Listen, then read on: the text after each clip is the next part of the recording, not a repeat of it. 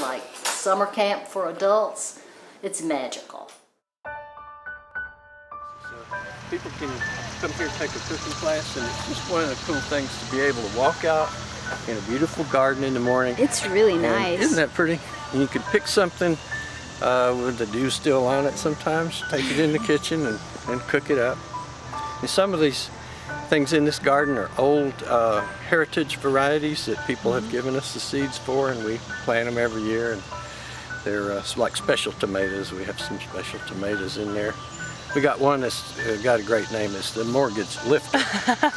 mortgage lifter. So if you just you have it. one of those, you'll you'll be so prosperous you won't even have We need to eat one of those. Yeah. pay off your house. Yeah.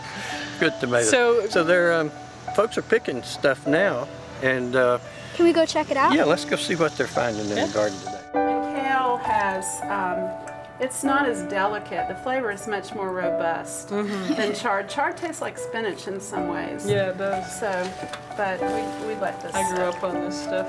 It's good for you. That's probably why you look so good.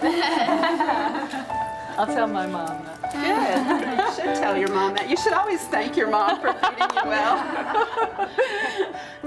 that one's going in the compost pile, and we do compost all of our vegetable this scraps. Is this kale That kale? is a different kind of. Oh, come on, guys. I could have stayed in there all day. Oh, don't I know it? You and food, I swear. Oh, we just yeah, the food is uh, pretty important. We like that a lot. Though. But what's next? Oh, you won't believe this. I got something to show you now.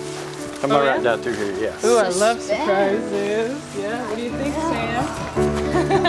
Some vitamins are fat soluble, so actually putting a little butter or olive oil on it allows you to absorb all of the minerals and vitamins that are in greens. How about that? Isn't that nice to know? That